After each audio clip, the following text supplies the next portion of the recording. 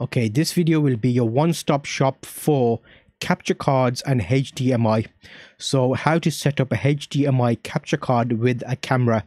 My plan is I'm going to link you in the description to a full chapter breakdown of this video. It might be a quite a long video, about 15 minutes or so, but if you have any problems, I'll link you to this video in future so you can find the answer and what the best way of doing things is. But if I start by giving you the challenges that you'll face. So cameras, DSLRs, if you're using them for the purpose I'm using it for here, where I'm making a video and the camera is about six feet away, um, auto shut off mode. So some cameras warm up and shut off automatically. That's a challenge. When you're streaming with the camera, you don't want the menus of the camera showing via your HDMI. So a clean HDMI is important. That's a challenge. Uh, well, depending on the camera you've got. Black bars showing on the side of the camera footage. Some cameras have a different aspect ratio.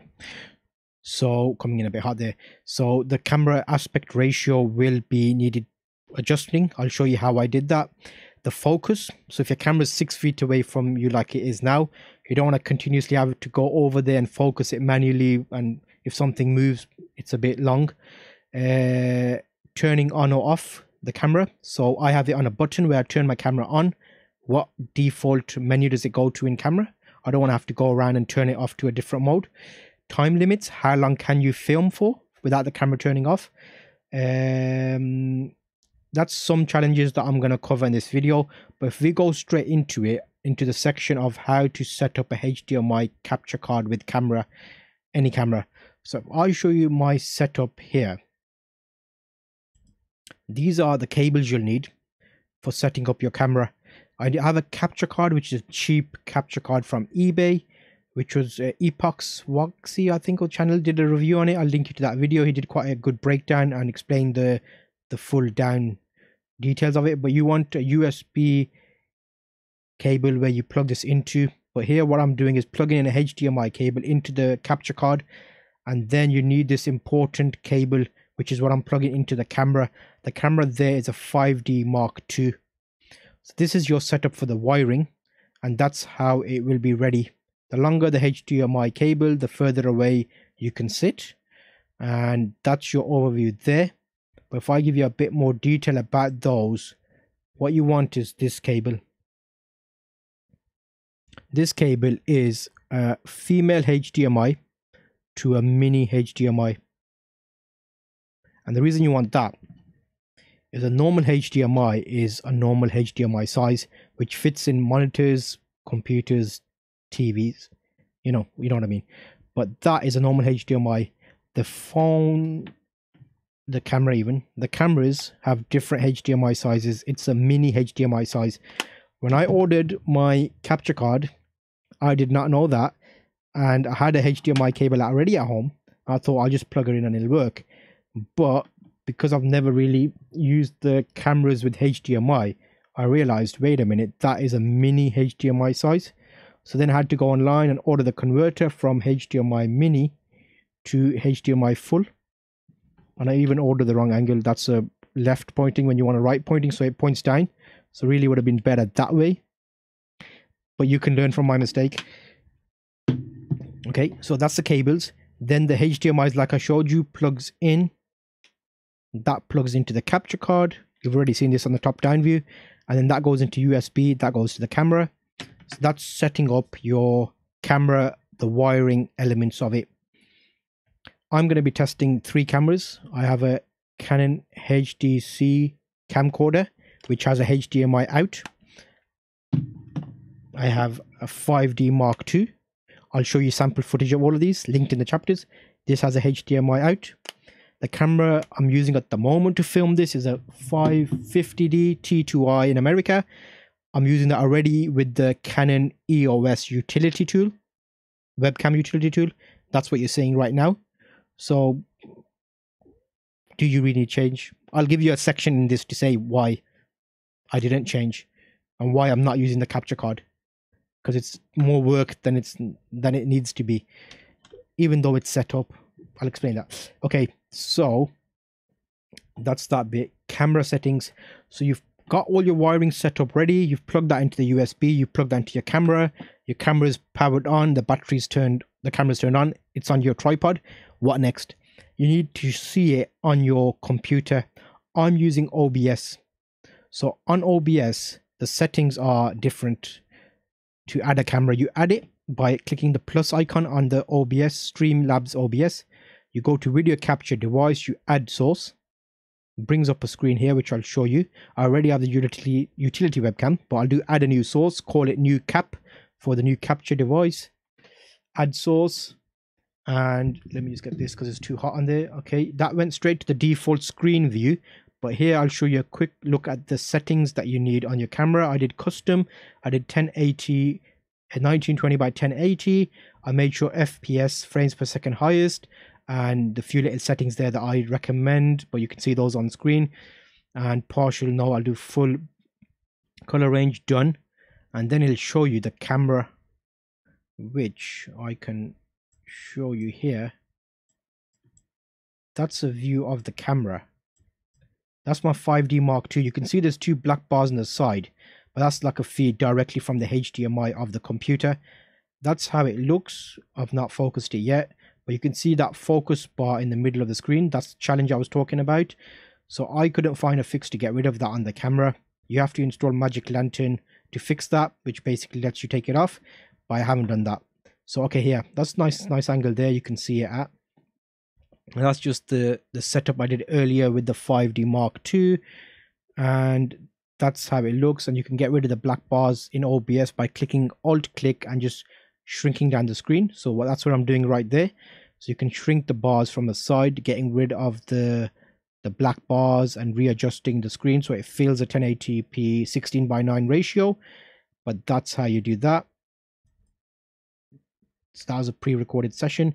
Menu settings. So in the camera that was a 5d mark ii i showed you. Now i'm going to flip to my 550d which is recording my 5d on the desk. You can see on this camera i have a grid view, which I don't want to show. Again, it has the uh, black bars on the side. We don't want the black bars. When you flip on the menu from the back of the camera, I went to menu and then I went to the display settings, uh, even live view settings. And those are available in different menus that come under different things. But live view function settings, here I went to grid display and I could turn the grid display off on the back of the camera because I want it to be a clean HDMI well as clean as I can get it.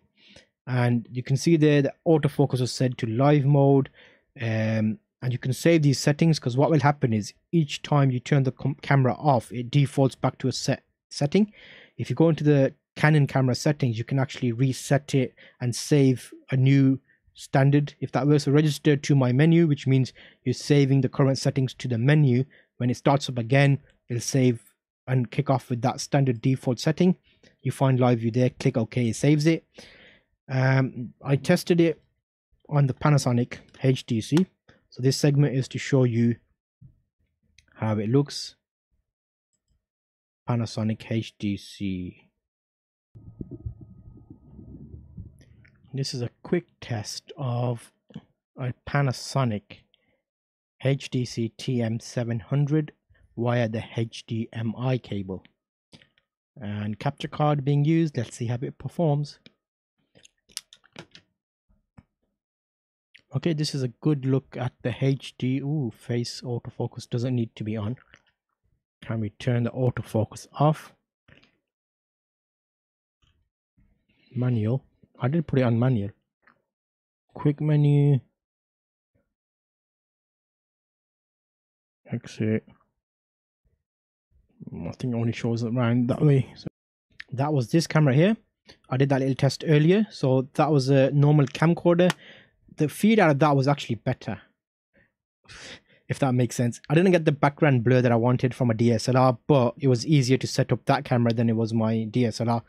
But then I did the 550 test. Okay, quick test of the Canon T2i and it's going via HDMI. Can't get rid of this this box here I might have to install Magic Lantern but this is the quality that's the quality at the moment I'll compare this to the old video capture method to see if it was any better but yep 60 frames a second. Let me just make sure it's max. Okay, so that was a look at the HDMI view. What you're seeing right now is actually the Canon EOS utility tool.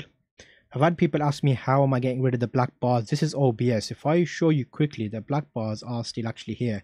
There's one and there's two. In OBS, you can alt click and get rid of the bars. Well, not get rid of them, but crop them out.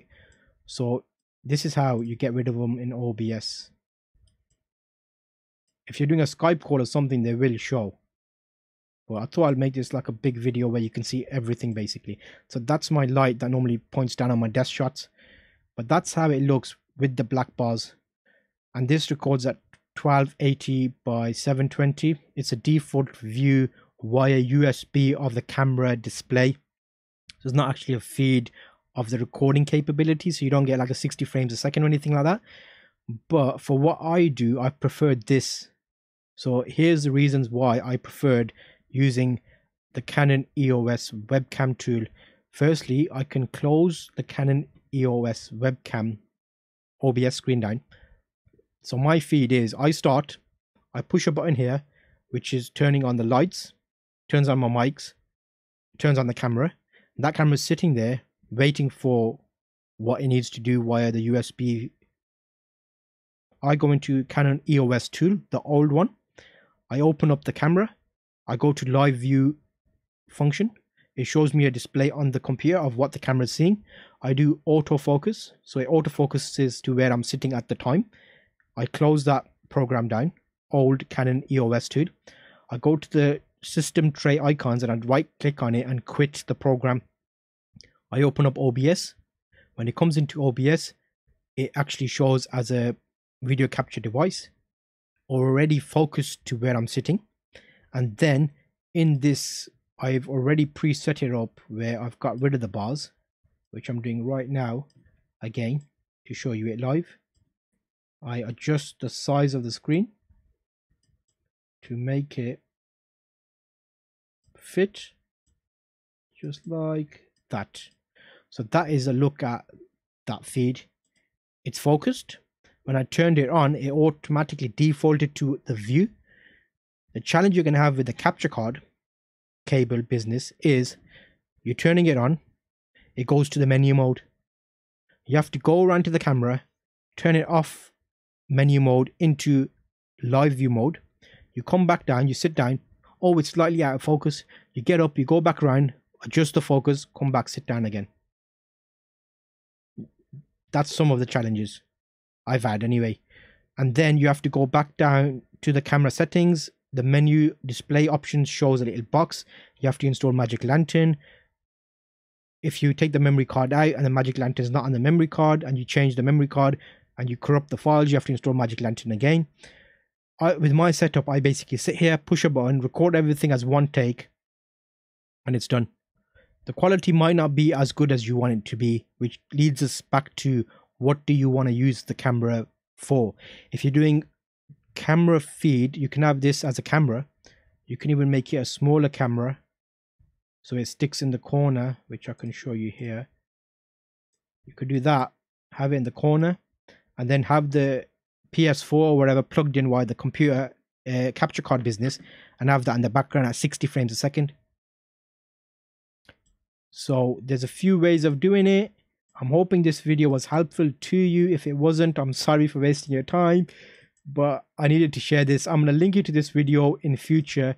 So people that struggle with setting up different elements of the webcam setup use this. I'll link you to this video here, which is another large, long video about webcam alternatives.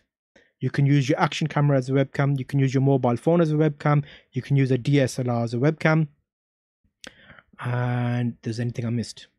Yeah, so check that out. Thank you. See you on one of that video now.